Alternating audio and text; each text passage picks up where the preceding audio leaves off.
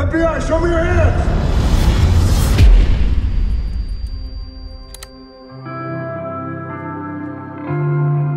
You okay? Yeah, I'm good. Just a little nervous. Wow, you look very handsome. I just don't want to screw it up, you know?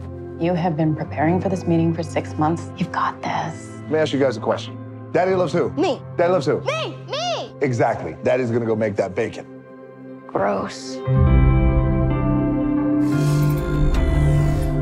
Mr. Sawyer, is your family enjoying their stay? Very much so. They're shocked you gave us the entire floor. After your security assessment, what do you think of the building? With all due respect, he's a glorified security guard. Please.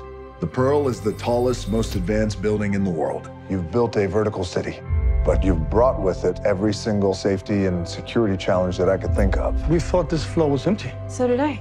Not only have you brought them all indoors, but you've trapped them 240 floors in the air. No one really knows what would happen if things go wrong.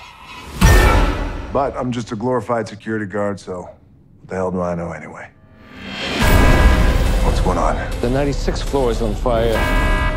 You're gonna be just fine, I promise you that. No, no, no, no, no, no!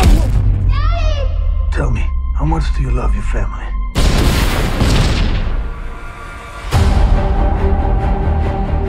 We're gonna get out of here, you're gonna have to tell me the truth.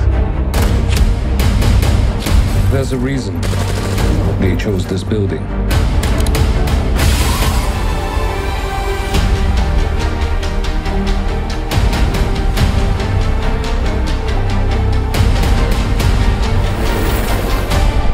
My family is the only thing that matters to me right now.